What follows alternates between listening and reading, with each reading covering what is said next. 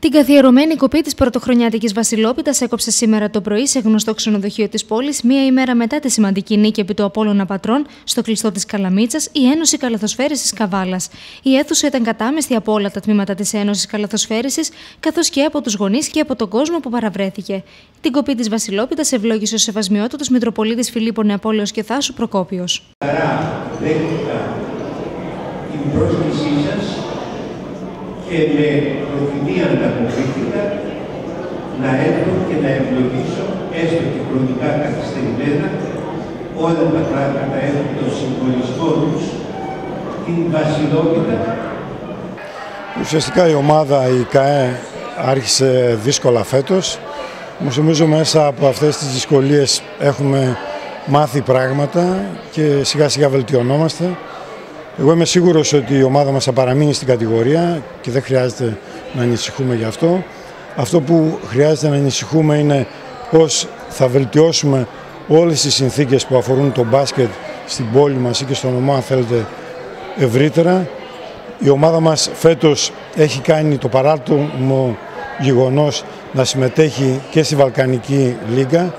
Ο λόγος της συμμετοχής στη Βαλκανική Λίγκα είναι αποκλειστικά και μόνο να φαίνεται η πόλη της Καβάλας και στα Βαλκάνια πλέον, αλλά και να, και να γίνει γνωστό ότι στην Καβάλα το μπασκετικό γίγνεσθε είναι πολύ ενεργό, πολύ ζωντανό και φιλοδοξεί να αναδεικνύεται κάθε χρόνο όσο το δυνατόν και καλύτερα. Νομίζω στο χθεσινό μάτς είδαμε όλοι ότι τόσο η συμμετοχή του κόσμου όσο και η θέληση της ομάδος ή αν θέλετε να πούμε και η θέληση όλων των καβαλιωτών είναι ότι θέλουμε να έχουμε αυτή την ομάδα στην Α1 οπότε αυτό είναι που χρειάζεται να στηρίζουμε σε κάθε δραστηριότητα που έχει αυτή η ομάδα. Αγωνιστικά η ομάδα έδειξε στο δεύτερο μήχρονο ότι έχει ένα μέγεθος το, το οποίο είναι σαφώς μεγαλύτερο από τη βαθμολογική της θέση.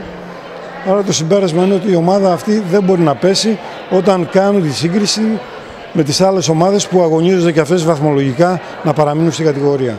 Νομίζω ότι είναι δύο ευχάριστα πράγματα. Ξεκινήσαμε χθες με μια μεγάλη νίκη, όπως είπα και χθες σε έντευξη τύπου θεωρώ ότι κάνα ένα πολύ καλό παιχνίδι, ίσως το καλύτερο παιχνίδι από την ημέρα που ήρθα εδώ. Παρόλο την πίεση και το άγχος που είχε η ομάδα, έδειξε χαρακτήρα και νομίζω ότι σε γενικές γραμμές είμαι ευχαριστημένος από την απόδοση και από τη συγκέντρωση των παιχτών. Όσον αφορά το σημερινό, νομίζω πρωτοχρονιά την Κυπίτα είμαστε όλοι εδώ μαζί, η ομάδα, να ευχηθούμε ένα στον άλλον καλή χρονιά, να έχουμε υγεία και να ευχηθούμε σε όλα τα τμήματα να έχουν επιτυχίες για το 2013. Είμαστε αισιόδοξοι, Είμαστε, πιστεύουμε στην ομάδα, αυτό το έχουμε πει και από τον πρόεδρο από την πρώτη στιγμή. Και εγώ ο πρόεδρος έχουμε τις ίδιες αντιλήψεις ότι η ομάδα θα παραμείνει στην κατηγορία. Το έχουμε πει από την πρώτη μέρα που ήρθα εδώ πέρα. Αλλά αυτό δεν χρειάζεται να το λέμε, να το βγάζουμε προς τα έξω, το κρατάμε για τον εαυτό μας. Θέλουμε να δουλεύουμε και εμείς από τη δουλειά μας να πάρουμε τα αποτελέσματα που θέλουμε για να σωθεί η ομάδα.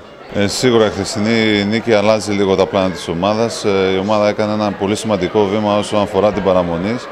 Ε, όλοι γνωρίζουμε ότι το άγχος αυτές τις μέρες και αυτή την εβδομάδα μας πέρασε ήταν πολύ μεγάλο.